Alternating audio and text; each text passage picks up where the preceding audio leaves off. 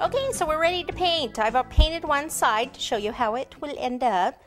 I've got my red, red food color. I've got a little bit squirted in the cap, and then I have some water here in case I need to thin it down. This is a liquid gel color, so it's on the thick side. So the very small brush, and I just want to run it all the way down here like this, and then right in these little areas, these little offshoot areas here. Again, I like this better than piping because the piping, the buttercream fills in the area and I like it to kind of go in a bit. So.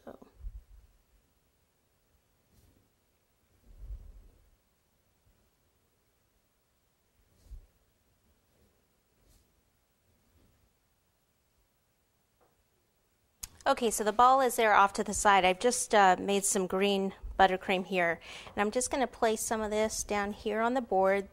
I want to get this on uh, first before I attach like the baseball glove and things like that. This is actually going to help it stick. Okay, and I'm not going to put it everywhere around the cake. We'll add some other things to give this cake more color.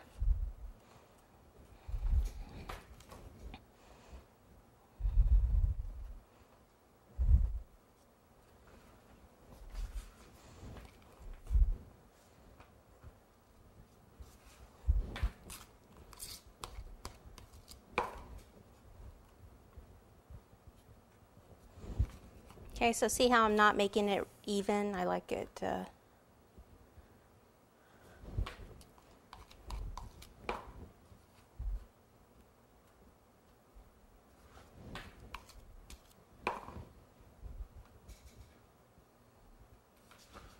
and one more side here.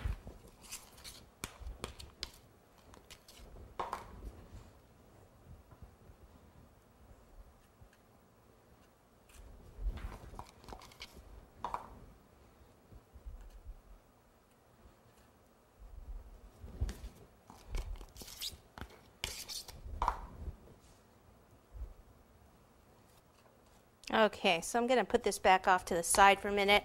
Um, we can cover the hat. The hat's still in the freezer. So we'll do that.